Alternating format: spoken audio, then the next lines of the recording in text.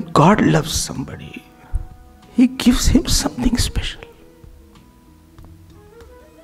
Either He has given some emotion or He has given some person or a situation, something He gives which everybody has not got. Everybody in the crowd has not got that.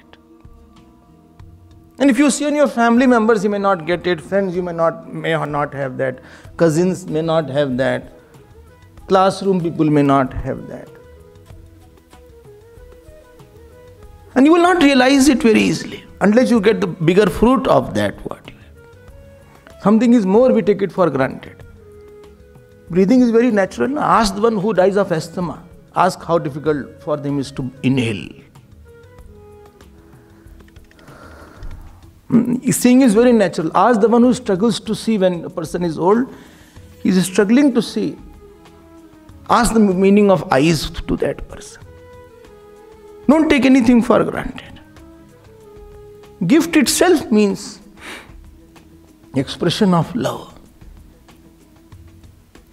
Birthday, you give the gift. Gift itself means that this is this is not for everybody. When this realization is there that I am getting something, not everybody gets it. Maybe your bhav, I'm not saying externally something, maybe your, you have some emotions are there. Saints are not made by books or ashrams. Saints are made by this realization. I do I, I should I should get it. Should I get it? First time when I went to Dwarka, it was 8 o'clock. They said, Don't go, it must be closed. As I went, temple was almost closed. Priest said, You have come.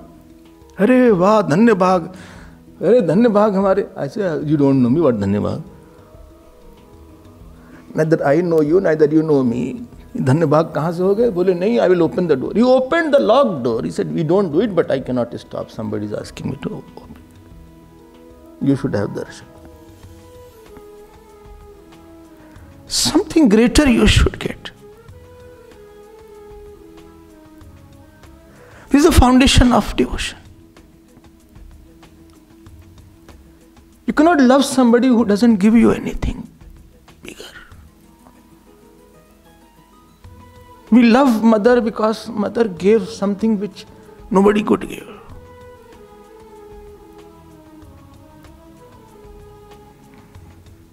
Therefore, you say mother's love nobody can give. We are bad realizers. We have a lot of emotions. And when we don't realize this, result of non-realizing is that we don't know what the beauty of God is, how good He has been with me, how beautiful He is. There's no vision about God.